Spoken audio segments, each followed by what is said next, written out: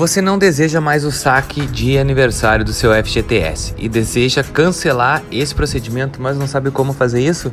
Então fica tranquilo que no vídeo de hoje da Atualiza eu vou te explicar tudinho como fazer esse procedimento pelo seu aplicativo do seu celular. Mas antes, rapidinho, já deixa seu like, se inscreva no nosso canal, isso é muito importante para nós, tá bom? Vamos lá, roda a vinheta.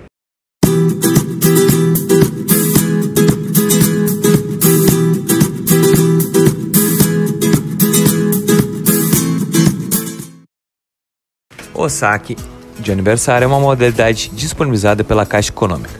Por meio dela, o cidadão pode optar por retirar o valor do FGTS uma vez ao ano. A retirada pode ser feita no mês do seu aniversário e nos dois meses seguintes, totalizando três meses para que o dinheiro disponível no fundo de garantia possa ser sacado. Sendo assim, a escolha dessa opção de saque deve ser informada para a Caixa, por meio da agência ou aplicativo.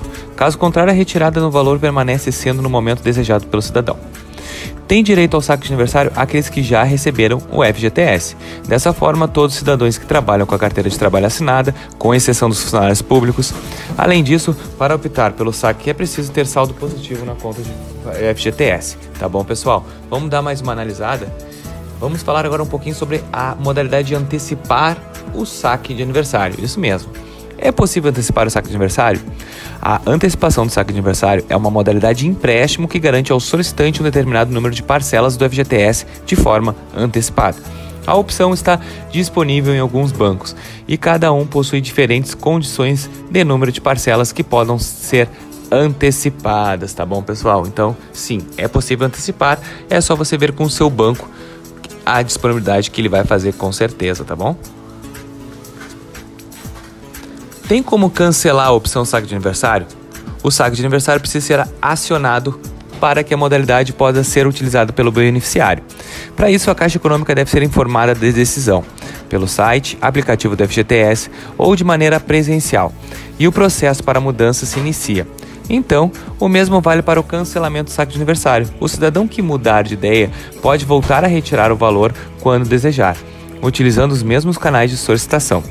Contudo, a opção de saque tradicional só voltará a ser disponibilizada dois anos após a solicitação do cidadão.